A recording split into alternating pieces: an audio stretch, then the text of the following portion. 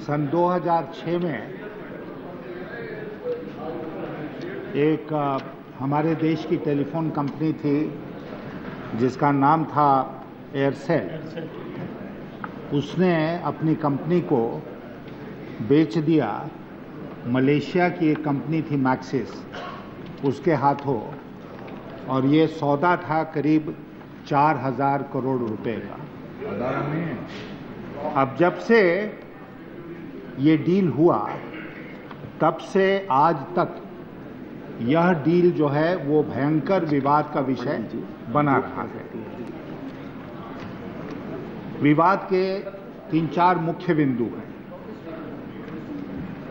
Number एक कि किस परिस्थिति में भारतीय कंपनी ने विदेशियों को अपना शेयर बेचा?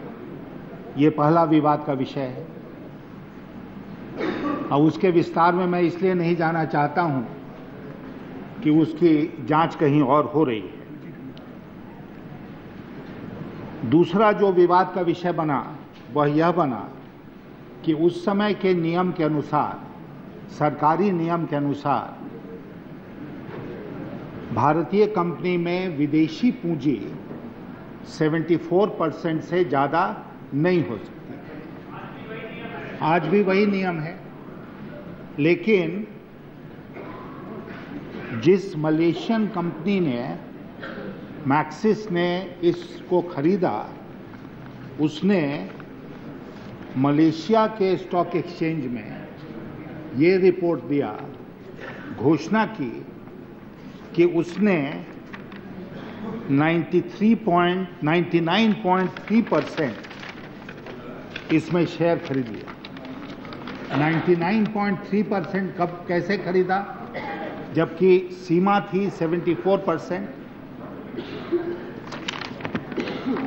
और डॉक्यूमेंट्स हैं जो प्रूव करती हैं कि उन्होंने इस प्रकार की घोषणा बोरसे मलेशिया में की।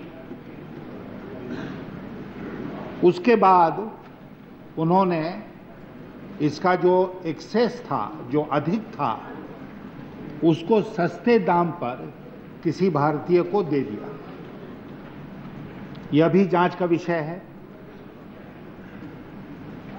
और सबसे जो इसमें एक बात सामने आई है, और मैं, मैडम, आप जानते हैं कि मैं कई दिनों से इस सदन में इस विषय को उठाने की अनुमति माँगता रहा हूँ। क्योंकि अखबारों में ये विषय छपता रहा। मुझे अफसोस है ये कहते हुए, क्योंकि मैं मानता हूँ कि ये हमारी जो पार्लियामेंट्री परंपराएँ रही हैं संसद की परंपराएँ रही हैं, उसका इसमें घोर उल्लंघन हुआ है कि हमें इजाज़त नहीं मिली इस विषय को यहाँ उठाने के लिए। लेकिन जब अखबारों में ये खबर छपी तो वित्त मंत्रालय ने इसके बारे में एक प्रेस विज्ञप्ति जारी करके अपनी सफ़ाई पेश की। विषय यह था कि फॉरेन इन्वेस्टमेंट प्रमोशन बोर्ड की स्वीकृति 2006 में इस डील को मार्च के महीने में मिली या अक्टूबर के महीने में ये एक विवाद का विषय है। लेकिन सदन में ये विषय नहीं आया। क्योंकि मुझे अनुमति नहीं मिली उठाने को और सदस्यों को अनुमति नहीं मिली। और संसद जब चल रहा है, तब अलग से वित्त मंत्रालय इसके बारे में प्रेस विज्ञप्ति जारी करके सफ़ाई पेश कर रहा है। जो वित्त मंत्रालय ने सफ़ाई पेश की है, जो तथ्य रखे हैं, उसको मीडिया ने चैलेंज किया है और कहा है, वित्त मंत्रालय गलत बयानी कर रहा है। यह सही नहीं है कि ये अप्रूवल एफआईपीबी का मार्च में मिला। यह एफआईपीबी का अप्रूवल 2006 के अक्टूबर महीने में मिला। और उन्होंने इसके बारे में जितने डॉक्यूमेंट्स हैं, उसको भी देश के सामने रखा है। अब ये विवाद कि मार्च में मिला कि अक्टूबर में मिला, ये गंभीर विवाद क्यों हो गया? ये गंभीर विवाद ये इसलिए हो गया कि इसी बीच में उस समय के जो वित्त मंत्री थे, उनके सुपुत्र ने पाँच परसेंट शेयर इस कंपनी का ले लिया, खरीद लिया, किस कीमत पर खरीदा, कुछ पता नहीं और मैं मानता हूँ कि अभी अपने आप में महत्वपूर्ण नहीं है कि उनको शेयर जो पाँच परसेंट दिया गया, वो मार्च के पहले दिया गया या मार्च के बाद दिया गया, अक्टूबर के पहले दिया गया मार्च और अक्टूबर के दरमियान में दिया गया, नहीं दिया गया, ये मैं मानता हूँ कि बहुत अपने आप में बड़ा इश्यू नहीं है। इश्यू यह है कि प्रॉपराइटी के पॉइंट ऑफ़ व्यू से मिनिस्टीरियल रिस्पॉन्सिबिलिटी के पॉइंट ऑफ़ व्यू से, हमारी परंपराओं को ध्यान में रखते हुए क्या ये सही था कि इस प्रकार का डील हो जिसमें उस समय के मंत्री जो एफआईपीबी के चेयरमैन हैं, जो अप्रूव करते हैं इन सौदों को, उनके पुत्र इसमें पाँच परसेंट शेयर ले लें।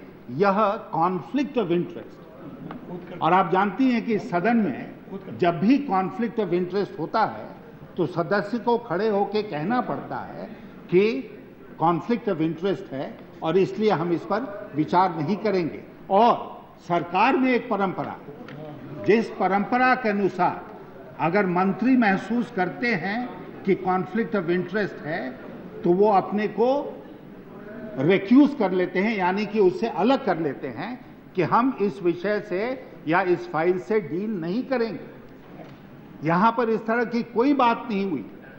और वित्त मंत्री ने उस समय के, चाहे मार्च में, चाहे अक्टूबर में, इस डील को अपनी मंजूरी दी एफआईपीबी के चेयरमैन की हैसियत से। तो मैं आपके माध्यम से ये कहना चाहता हूँ कि ये बहुत ही गंभीर विषय है और मैं चाहूँगा कि सदन के नेता वित्त मंत्री महोदय जो इस पूरे विषय से संबंधित हैं वो इसके बारे में अगर वित्त मंत्रालय का और सरकार का पक्ष रखें तो बेहतर होगा। इसके आगे और फिर उसके बाद हम लोग इस निष्कर्ष पर पहुँचेंगे। सही हुआ गलत हुआ लेकिन मुझे लगता है कि प्राइमा फेस प्रथम दृष्टया जो कुछ हुआ वो एक भयंकर घोटाला हुआ है इस देश में और सरकार को पूरी तरह से खुलकर सामने आना चाहिए और इस बात के ऊपर पर्दा नहीं डालना चाहिए। यही मैं आपसे you.